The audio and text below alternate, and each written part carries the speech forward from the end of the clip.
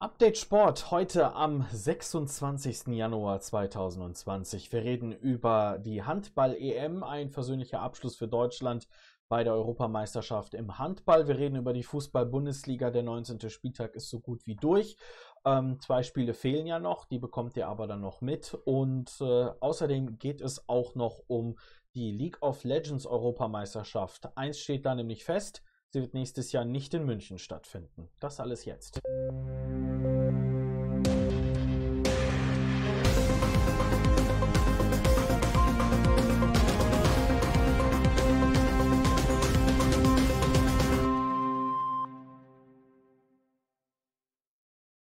Und damit willkommen zu Update Sport am heutigen Sonntag. Ja, es äh, ist viel passiert in dieser Woche, vorwiegend auch in Sachen Tennis, nämlich Australian Open. Dazu kommen wir aber in einem kleinen äh, Bereich hier bei Dercho TV äh, Update Sport, das ihr später nämlich noch mitbekommt. Immer sonntags um 20 Uhr gibt es die Sportmeldungen der Woche, beziehungsweise die wichtigsten Sportmeldungen aus dieser Woche, die dann halt nicht irgendwie zum Wochenbeginn passiert sind, sondern könnten auch an diesem Wochenende passiert sein. Was aber jetzt im Laufe dieser Woche nämlich passiert ist, ist unter anderem nämlich die ähm, Ausrichtung der LOL-EM. Ja, wir kommen zum E-Sport nämlich. Die League of Legends Europameisterschaft wird im kommenden Jahr nämlich stattfinden und München hat sich unter anderem als Austragungsort beworben. dass ähm, ja, der Raum bzw. die Halle, die nämlich zur Verfügung gestanden wäre, wäre nämlich ähm, die Olympiahalle gewesen in München.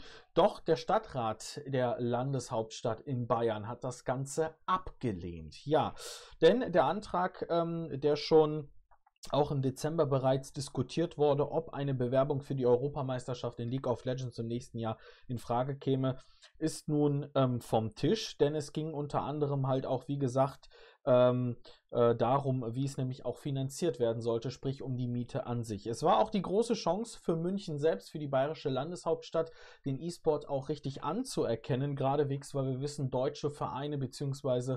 Ähm, Institutionen im Bereich ähm, des Sports, des richtigen, also nicht des elektronischen, sondern des äh, richtigen Sports, also sprich DOSB zum Beispiel, ähm, sehen das ja immer wieder ein bisschen anders. Da, ähm, da haben wir ja auch darüber berichtet. Und dennoch sollte eine kolportierte ähm, 160.000 ähm, Euro Kosten für die Veranstaltung in der Olympiahalle standen im Raum.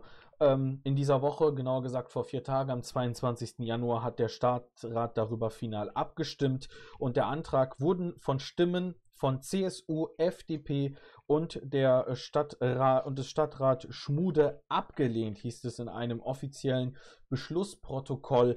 Ähm, der veröffentlicht wurde. Die Diskussionsgrundlage war unter anderem halt die Miete für die Europa, äh, für die Olympiahalle, denn Riot Games verlangte eine Unterstützungsleistung von insgesamt 400.000 Euro. Vom Freistaat Bayern wären insgesamt nur 250.000 Euro gekommen und der verblieben, die verbliebenen 150.000 Euro würden an den Publisher zurückgehen und kämen als Miete für den Veranstaltungsort auch wieder zurück.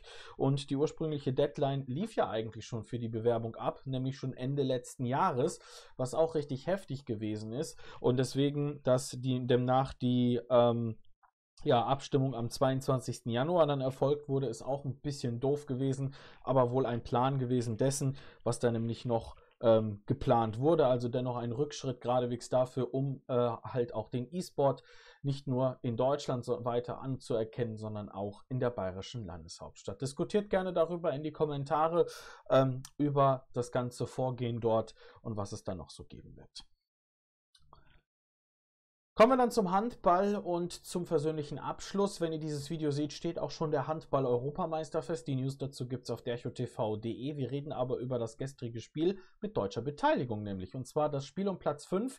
Ähm, gab keine Medaille, denn ähm, was sollte man nach Gold, Silber und Bronze verleihen? Naja, vielleicht eine Olympia-Qualifikation. Die hat nämlich das DHB-Team zumindest nun im Auge, sprich das Ziel Tokio im Sommer.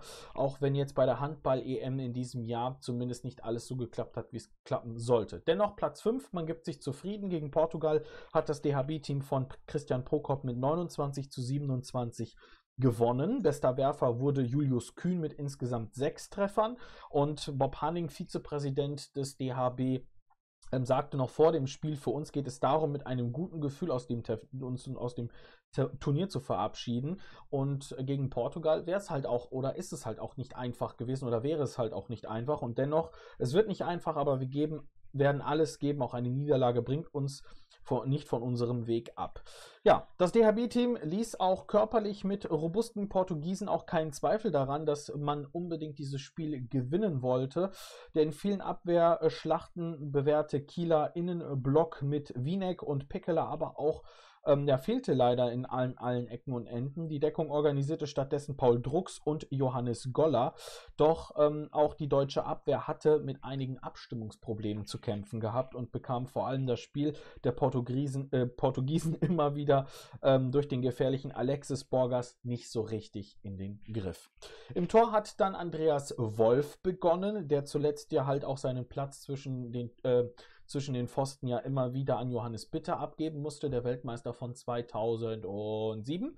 Und ja, musste dann auch immer wieder dann von der, äh, vom, von der Bank aus immer wieder zugucken. Gegen Portugal aber hat sich Wolf dann auch noch gesteigert, geradewegs auch in seinem 100. Länderspiel für Deutschland und kam nochmal in eine gute Form. Dennoch musste er dann in der Schlussphase für Bitter weichen, der dann aber zumindest gute Paraden für einen wenigstens, ja sagen wir mal, versöhnlichen Abschied bei der Europameisterschaft gebracht hatte. Ich habe es schon zu Anfang gesagt, es geht ja auch noch unter anderem um die Olympiateilnahme, die jetzt im, im, im Raume steht, nicht im Weg steht, sondern im Raume steht.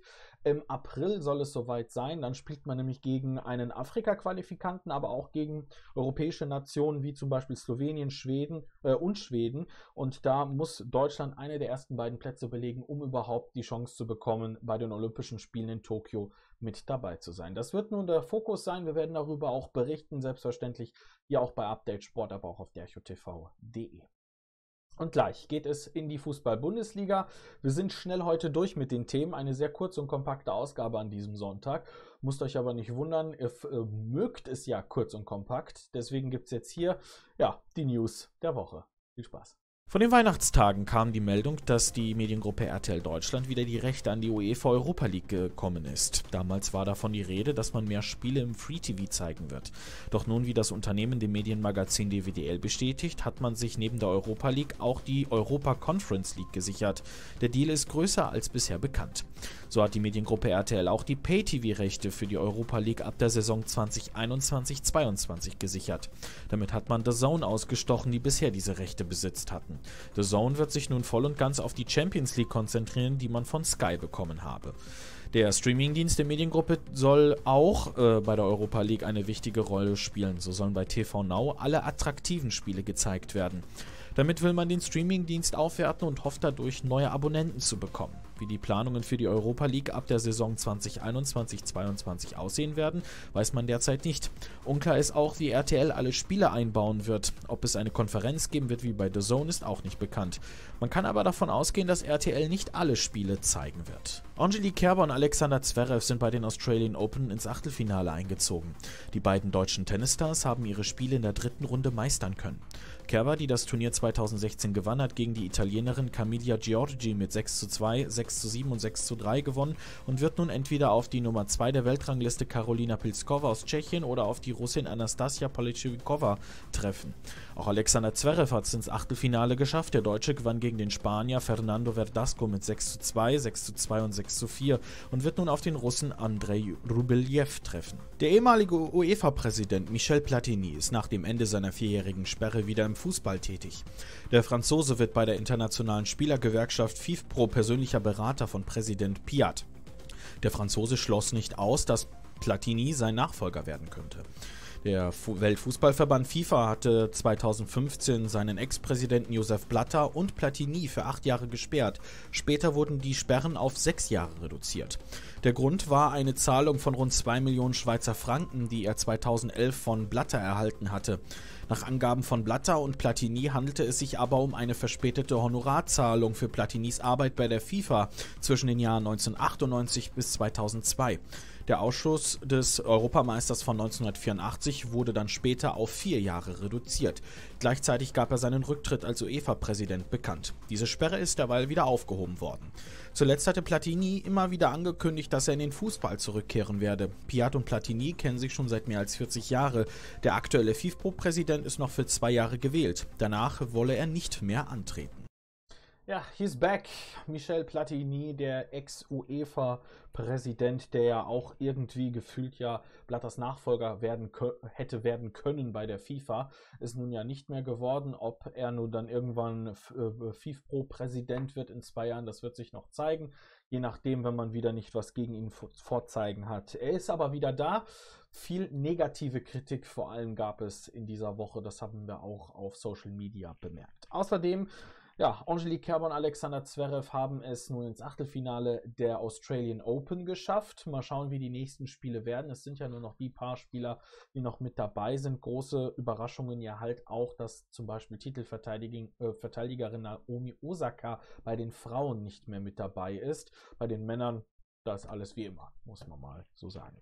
Dann kommen wir zum Medien- und sportlichen Bereich. Die Europa League sowie die neu geschaffene Europa Conference League, die ja quasi als Arbeitstitel noch den Namen Europa League 2 ja hatte, werden von 2021 an, von Beginn dieser Saison an bei RTL komplett zu sehen sein, jeweils Pay, aber auch Free-TV-Rechte hat sich der Kölner Medienkonzern sich gesichert. Bedeutet, dass The Zone halt aus dem Spiel ist, so auch die neue Conference League, wie gesagt, wo ja dann ein Qualifikant der Bundesliga mit dabei sein kann. Bei der Europa League wird es ja dann so sein, dass zwei Bundesligisten mit dabei sein werden, also die, die es entweder nicht in die Qualifikation zur Champions League geschafft haben, beziehungsweise ein fester Europa League Platz kann man mal so damit rechnen.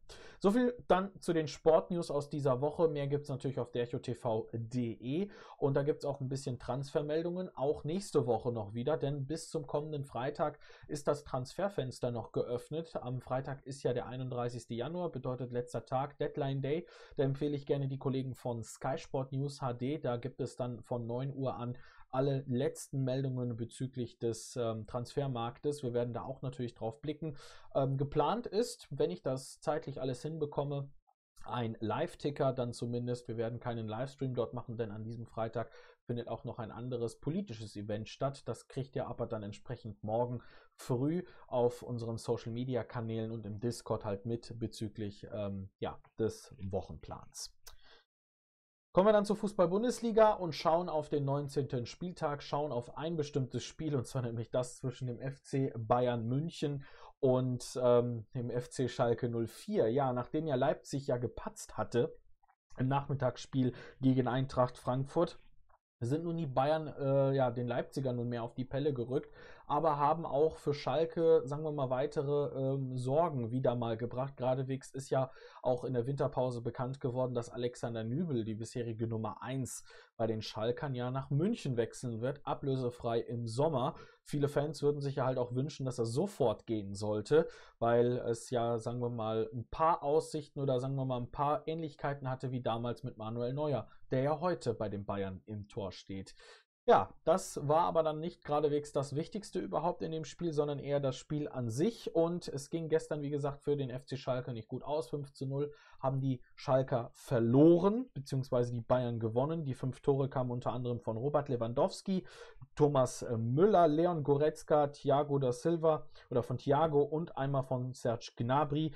Da gab es aber auch sehr, sehr viele Patzer und Fehler von, der, äh, von dem bisherigen Torhüter Markus Schubert, nämlich der ja für Alexander Nübel sitzt. Denn Nübel, ähm, oder im Tor steht besser gesagt, nicht sitzt. Ähm, Nübel ist ja selbst ja noch wegen eines, äh, ja, wegen eines Kung-Fu-Fights, könnte man sagen, ähm, bei einem Spiel, bei einem Bundesligaspiel in der äh, Hinrunde ja gesperrt worden für vier Spiele. Es war auch das letzte Spiel, ähm, gegen, wo auch Nübel nämlich ähm, dann dabei sein wird. So wird es nämlich so sein. Also ist es wohl so, dass Schalke wahrscheinlich nun auf Platz 6 abrutschen wird, also noch so in der äh, Europa-Komfortzone noch so ist. Also da muss man sich noch ein bisschen ähm, noch hinschauen. Nach der Steilvorlage haben dann auch motivierte Münchner das dann auch richtig schön dick ausgenutzt. Nach sechs Minuten halt dann nach dem dicken Patzer Robert Lewandowski. Doch auch der Videobeweis kam zum Einsatz. Geradewegs zwei Tore von Lewandowski, aber auch von Thomas Müller nämlich, ähm, haben dann eher dann dafür gesorgt, dass es eher wohl eine Abseitsstellung war anstatt ein Tor. Zudem glänzte dann auch manchmal äh, Markus Schubert geradewegs zum Halbzeit Abpfiff bis zur Halbzeit zur Abwechslung einmal mit einem Lewandowski-Kopfball. Also da hat Robert Lewandowski dann doch nicht immer zeigen können, was er konnte. Die Münchner ruhten sich nach dem Wechsel überhaupt nicht aus, haben dann ihre Führung entsprechend auch ausgebaut und haben die Gästen dann wirklich die, von einer Verlegenheit in die nächste gerutscht. Die Tore fielen zwangsläufig und der Erfolg hätte auch nicht noch höher ausfallen können. An der Bank klatschte Flick dann freudig mit Hasan Salihamidzic, dem Sportdirektor, ab, der wahrscheinlich noch den ein oder anderen ähm, Spieler noch im Sack beziehungsweise im Hut vielleicht sogar oder im Jackett, je nachdem, drin hat. Ähm, bis Freitag ist ja noch das Transferfenster offen. Und da wollen wir dann mal auf das äh, Abendspiel blicken. Ähm, vom gestrigen Samstag am 19. Spieltag. Hier haben wir das dann nochmal als Ergebnis. Schalke verliert 0 zu 5 gegen den FC Bayern München in München. So viel dazu. Am Nachmittag, gestern also, am Samstag, gab es auch Spiele, die schauen folgendermaßen aus. Gladbach gewinnt gegen Mainz mit 3 zu 1. Wolfsburg verliert noch gegen die Hertha aus Berlin. Der erste Sieg unter Jürgen Klinsmann mit 1 zu 2. Frankfurt, wie schon erwähnt, gegen Leipzig 2 zu 0 gewonnen. Freiburg verliert gegen Paderborn mit 0 zu 2 und der erste FC Union Berlin gewinnt gegen den FC Augsburg mit 2 zu 0. Am Freitag gab es dann wieder mal die ähm, Haaland-Gala mit ähm, dem ersten FC Köln. Borussia Dortmund gewann hier mit 5 zu 1. 10, die ersten 10 Tore in dieser Rückrunde, die Borussia Dortmund geschossen hat. Der Titelkampf wird richtig spannend. Zwei Spiele gibt es ja noch, die bekommt ihr entsprechend oder die habt ihr schon entsprechend die Ergebnisse in unseren Social Media Kanälen. Schauen wir dann auf die Tabelle mit einem Spiel, was zu dieser Produktionszeit geradewegs gelaufen ist. Da werden wir aber nicht darauf eingehen. Wir schauen uns aber jetzt erstmal Stand jetzt zu dieser Aufzeichnung ähm, die Tabelle nämlich an. RB Leipzig im Moment noch auf Platz 1 mit 40 Punkten, Bayern nun mit einem Punkt dahinter mit 39 Punkten. Wiederum ist Gladbach mit einem Punkt weniger als Bayern, aber zwei Punkte weniger als Leipzig auf Platz 3. Dortmund sogar vier Punkte weniger, beziehungsweise drei Punkte weniger als Bayern auf der 4. Schalke jetzt aktuell im Moment nur auf dem fünften Platz. Leverkusen ähm, ist auf dem sechsten Rang, Hoffenheim nun auf Platz 7 mit 30 Punkten. Stand jetzt. Freiburg auf der 8 mit 29 Punkten. Frankfurt beruhigt sich ja so langsam wieder, ist wieder auf dem Weg Richtung Europa mit 24 Punkten, punktgleich, aber auch mit Wolfsburg, die aber die schlechtere Tordifferenz haben. Union Berlin durch den Sieg gegen Augsburg nun auf 11, dahinter der FC Augsburg punktgleich, aber wegen der schlechteren Tordifferenz auf der 12. Hertha nun raus aus dem Tabellenkeller auf Platz 13. Köln rutscht leicht nach unten durch, den, äh, durch die Niederlage gegen Dortmund auf, mit 20 Punkten auf Platz 14.